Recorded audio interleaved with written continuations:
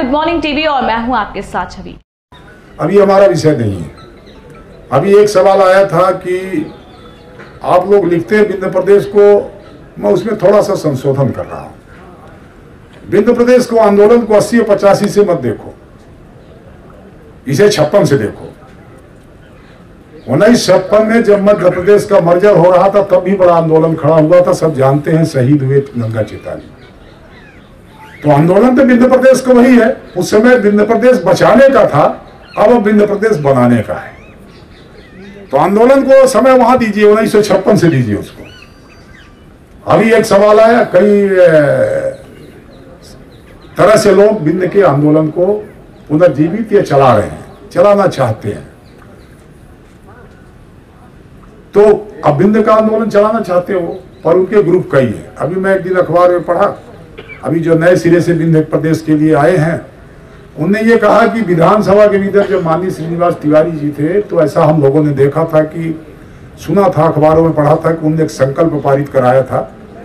और वो संकल्प तब पारित हुआ था जब अटल जी की एक मंशा हुई कि छोटे प्रदेश बनने से विकास जाता होता है।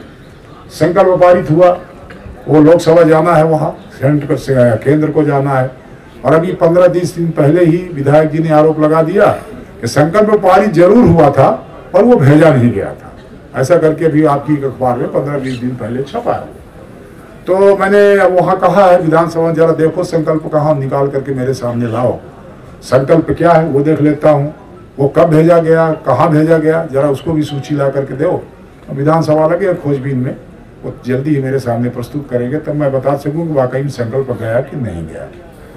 सवाल ये नहीं है आंदोलन वाकई में विंध्य प्रदेश का लोग चाहते कि नहीं चाहते? प्रश्न ये है।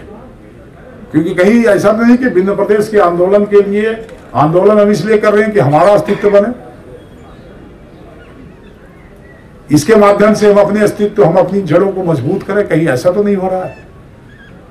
ऐसा लोग कहते हैं।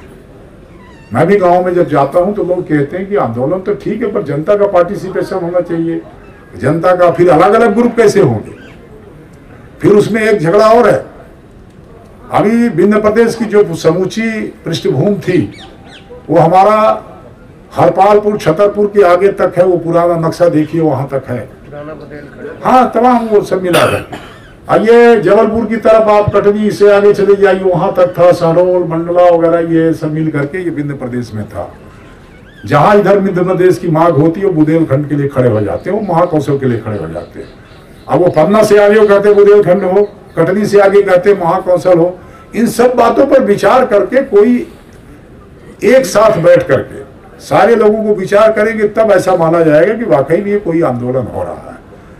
नहीं तो जनता जो आक्षेप लगाती है शायद वही फिर हो। सो जनता भी आरोप तो लगाने को जनता समझती है सब। क्यों अलग अलग खबर में फ़िलहाल इतना ही और भी खबरों के अपडेट्स के लिए आप बने रहिए गुड मॉर्निंग टीवी के साथ। नमस्कार।